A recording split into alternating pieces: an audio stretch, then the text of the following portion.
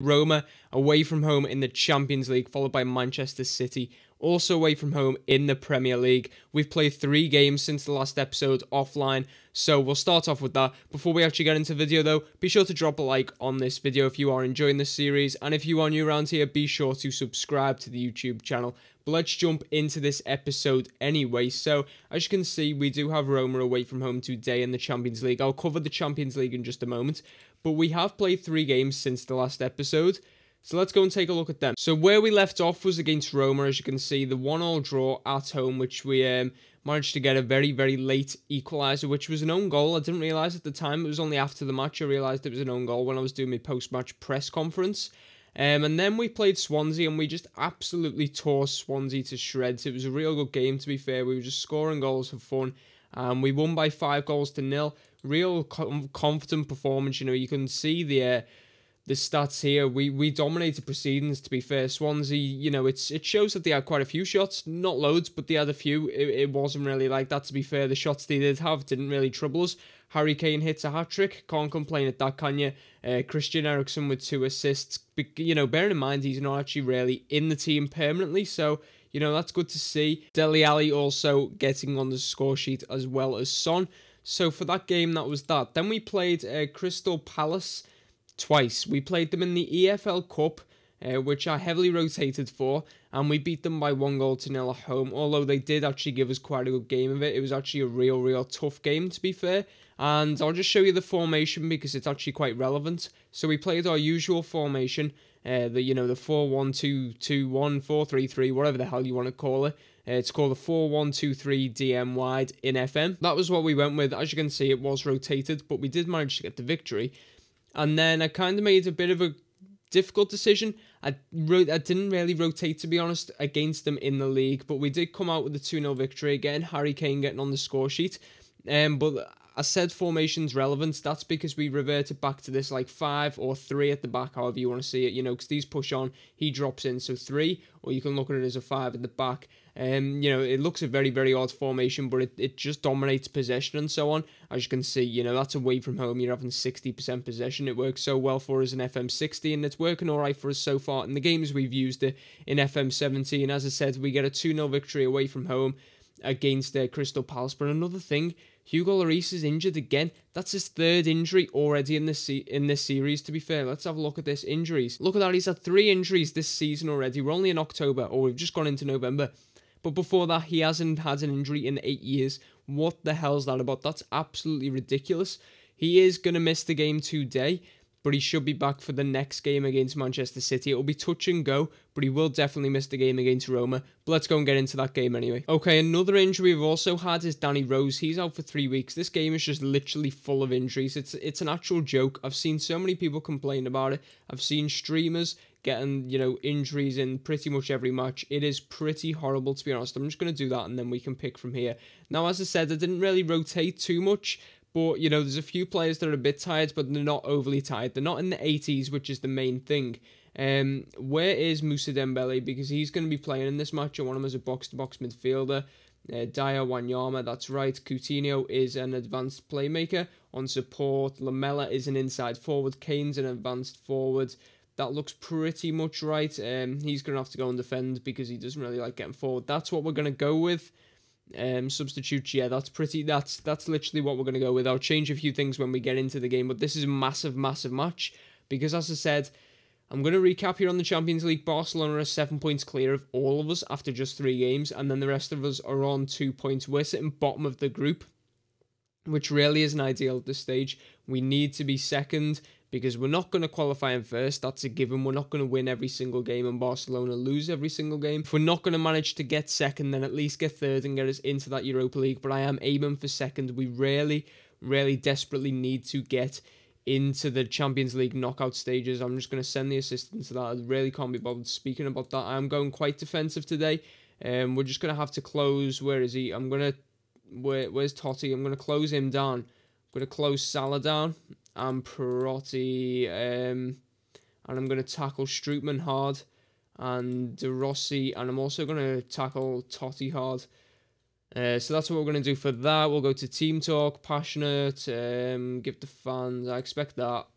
doesn't really do much. Let's get into this game anyway and hopefully get our first victory in the Champions League. Totti scored a free kick last time. My heart was in my mouth right there. We can't be giving them free kicks like on the edge of the box when we know they've got Totti. Totti, oh my word, that was literally in exactly the same place as where he scored against us at home. Every time they get a free kick, my heart is going to be in my mouth. Totti can cause you problems from any free kick, but we are maybe trying to cause them problems right now. I swear Wanyama gets booked in every single match he plays. And Harry Kane, there we go. Get in, lads. We're leading in this one. The relief is real. I don't even like Tottenham. I'm just doing it for the beta save, but I am actually getting into it, to be fair. I thought it might not be the same connection as I had with the Liverpool save. Obviously, being a Liverpool fan, you've just seen the passion there. We really, really need this victory. We're doing well in the league. We're top of the league. I didn't actually show you that, but we are top of the league. Okay, it's not very often I do this. I am going to make a change anyway, but can I just point you to Roma's tactic? I've just realised my face cam will be in the way, so I'll move it up. But look at that. What, what are they doing? What are they doing? They've got one goalkeeper, four at the back, two in midfield, and then they've not they're not playing with an attacker. They're not even playing with a false nine. They're just playing with four attacking midfielders. I, I don't think I've seen a team play like that before. That is really, really strange. Okay, so one of these changes is going to be fitness based. I am going to bring on Kieran Trippier because he's, you know, fit, whereas Walker's getting a bit tired. I'm going to put him to defend as well. That just really helps us out. Maybe ease some of the nerves. Um, who can Lamela come on? Yeah, so I'm going to bring Son on for Lamela. That just kind of makes sense. And that's what I'm going to do for now. And then if we're, we're still winning with like a minute to go, I'll make a change just to waste a bit of time. Just going to put us on contain. This really won't be the time to concede the goal, to be honest.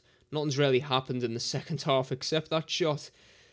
The first highlight, we're on extended highlights, by the way. The first highlight comes like 77 minutes into the game. That's absolutely crazy. The first highlight of the second half, anyway, that's what I mean. But we do have a 1 0 advantage away from home to uh, Roma, who were a decent team and were without Hugo Lloris in goal, which is good to see. As I said, they're playing some real crazy, fucked up formation. I've not seen anything like that before, to be honest. Go on, get forward there, son. Too engrossed in what we were doing. Harry Kane, oh, that's a big chance. Oh, it's a big chance. You've got to be putting that away at this stage of the game because if we go 2 0 up right now, then that's game over, isn't it? Okay, I said I'm going to be a bit of a scumbag if there's not too long left in the game. I'm going to bring Harry Kane off and bring Janssen on. There's literally two minutes left. They do have a highlight, but hopefully they don't score and then we can kill a bit of time with a substitution. But they are in behind for Lorenzi. There we go. It's gone out for a corner. Interesting to see. Yes, so we have made our change. It's not really wasted too much time. Ball goes into the box. Vorm deals with it. 30 seconds to go. This will be a big, big victory if we do get it. And it's looking like we probably will. We've just got to stay focused right now. 15 seconds to go. I can't see us losing this lead now. I think Janssen may have been offside. He actually wasn't. And it's a corner to ourselves. We have won this game. There's no way they're going to get the ball on attack within the time that's left. Ball goes into the box. It is cleared. That should be full time any minute now. There we go. Full time. We have beaten Roma. What a huge victory that is. I can't even say like how much of a massive victory that is. The players aren't even asked. But there we go. That's why it's a big victory because Barcelona inevitably beat Leverkusen by three goals to nil. Barcelona, I'd imagine, let me, yeah, so Barcelona are qualified, they are through. But we now have a three point advantage on the other guys. Yes, we've got to go away to Leverkusen, which will be tough. But if we can do that to Roma, then we should certainly be able to do it to Leverkusen. Then we've got to play Barcelona at home, but we could have it wrapped up by then because if Barcelona beat Roma and we beat Leverkusen, then we'll have a six point lead over the others with one game to go and we'll be done and dusted. Even if we get a draw in that match, it will be perfect. Okay, so let's move on to the big game against Manchester City in the Premier League. Okay, so we are back for the game against Manchester City. I don't really agree with the fact that we are the early kickoff on a Saturday given that we played on the Wednesday in the Champions League. But you know, I can't really complain at that. We are actually top. Uh, I didn't really talk you through this before. We are top of the Premier League. Manchester City is second, but even if they win today, they won't go top on goal difference. So we will stay top unless they beat us by like four goals or five. So it's it's unlikely that that's going to happen. I hope I've not jinxed myself right there. But if we go to stages, you'll see we've played 10, 1, 7, drawn 3, lost 0. Whereas City have actually lost three games, although they've won every single game at home. but they've not really been tested at home yet, so maybe we can provide them with that test. We've scored 21, the same as Man City, but we've only conceded two in 10 games, which is that's phenomenal. I, you know, I can't even complain at that. Um, Harry Kane is joint top scorer with Daniel Sturridge on 11 goals in 10 games, which is really, really impressive. Uh, average ratings as well. Kyle Walker, Harry Kane, both up there. Harry Kane with highest man of the matches. Hugo Lloris with most clean sheets. Eric Lamela with uh, second most assists. So everything's going pretty well for us. And okay, so what I'm actually going to do today, Hugo Lloris has not come back in, despite the fact he can play. I'm going to stick with Vorm. Um, just purely because it's probably wise. I'm going to actually swap him to a goalkeeper. Um, and we're going to go with this weird formation. It's just basically to try and keep possession because no Man City are going to want to, so we've got to try and counteract that. Uh, ben Davies is obviously obviously our usual left back, but he can only play left back. He can't play there, and despite the fact um, Wimmer is actually a centre back, he actually plays that role better. So that's why I've gone with him. Obviously, Danny Rose would usually play, but he is out injured. So let's get into this game against Man City. It is going to be tough, let's be honest. You know, it, it's it's going to be really, really tough. Uh, what's this? Nolito is out, um, blah, blah, blah. Click that. So there's City's team. They're going with Bravo, Clichy, Stones, Kompany, Zabaleta, Gundogan, Fernandinho, De Bruyne, Silva, Sané, and Aguero. Absolutely ridiculous team. They've got, you know, Yaya Toure and Sterling on the bench. Type of players they have at their disposal uh, is pretty pretty impressive to be fair. Right, we've got to uh, show a few more of them onto the weaker foot. To be honest, we're not showing enough of them on the weaker foot. Uh, probably tackle Gundogan hard as well and De Bruyne. It probably just makes sense. That's what we're gonna go with. Uh, that's that's yeah, that's pretty much right. I'm actually gonna see what that does. I'm gonna close down on the goalkeeper, just see if it does anything. To be fair, we'll go through to the team talk. Um, let's see what we can say. This gives uh, opportunity it's worked relatively well. Let's get into this game and hopefully get some kind of result against Man City. I would ideally like a victory. It may not be possible. City may just blow us completely out the water. But if we get a draw, I wouldn't complain at that, to be honest. City do have a corner, though. De Bruyne puts it in. Oh, my word. That was nearly 1-0 already. City are starting this game well. And Wanyama already given free kicks away. Fernandinho to maybe strike. He does, and it's wide. Lamela to Dier. Be nice if we just nick a goal because then it really puts City under pressure. That's not going to help though. Here comes City with Leroy Sané. Aguero who can... Oh my word, he nearly finished. I was about to say who can score from any position, but he nearly did to be fair.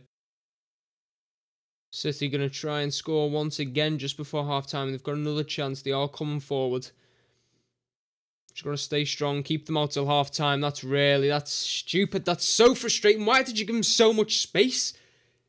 Oh, for fuck's sake, it's it's literally so obvious. You just see it happening, and you're like, why is that happening? Why have you just given them so much room in our box, so much room on that wing? Half time, 1 0 to Man City, and it's so frustrating because that goal was just so obvious. I don't get how the players didn't see that that was about to happen. I'm going to change it back to our usual formation. Some players are fucking knackered. I mean, how's Eric Lamela on 59%? He's not even injured. That's ridiculous. I'm going to have to bring Son uh, onto the pitch. Uh, Davies is also coming back into the game at uh, left back. It's not going well for us. Right, I'm dragging Harry Kane off and bringing Vincent Janssen on because it's just it's it's dire to watch. I may move Dembele up. He doesn't actually really like that, so I'll bring him back. But I'm actually just going to put him on an advanced playmaker role instead of box to box, just to try and get back into the game. Maybe if we can nick a goal that would really, really help us. I'm just going to encourage the lads. About 10 minutes to go now. I mean, it's it, it's going to get to a stage where it's all or nothing, so I might as well just throw our players forward. We are losing anyway. It's not as if we're already drawing. Janssen shot again, just too weak. I'm going to go attacking because if City score another, it's fine, isn't it? We're already losing, but if we get a goal, it's worth it. Really nice tackle there by Wanyama. We've got to try and get a break on Coutinho. Janssen's through. Come on, lads. You've got to score. Get in. There we go. Come on. We're back in this game. Fucking get in. Oh, don't know what City's defence were doing, but what a ball from Coutinho. And Vic Vincent Janssen gets in behind to finish. We just cannot concede now.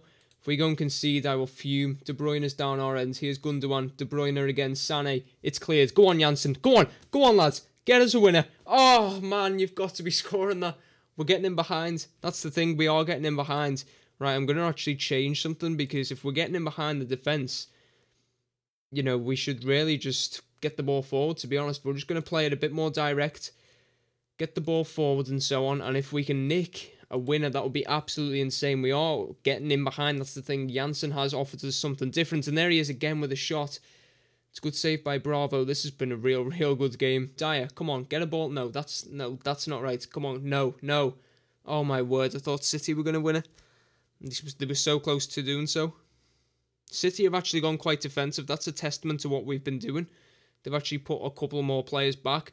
There's full time, one all. I said at the start I'll take a draw, and we got one to be fair, it says it right there. We were unlucky today. We had a real big chance right at the end to win that match. I know City dominated everything, but I'm not too bothered. We came, we had a game plan.